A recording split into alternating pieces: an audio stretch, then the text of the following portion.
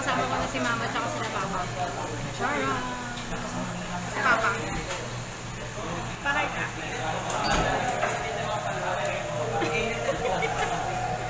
Alam nyo ba? Isod si Papa kasi meron siyang isang bucket ng beer. Tignan mo nga. Tignan nyo, may isang bucket si Papa. Nakatatlo na siya. Ang dami na. Kung